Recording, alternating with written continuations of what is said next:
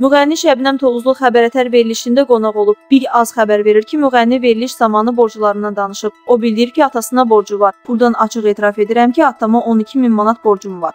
Atam deyib qaytaracaqsan. Buradan söz verirəm may ayının sonu ata pul səndədir.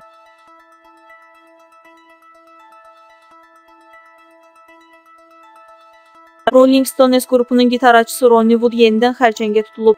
Bir az axşam azı istinadən xəbər verir ki, ifaçıya bu dəfə kiçik hüceyrəli xərçəng diaqnozu qoyulub.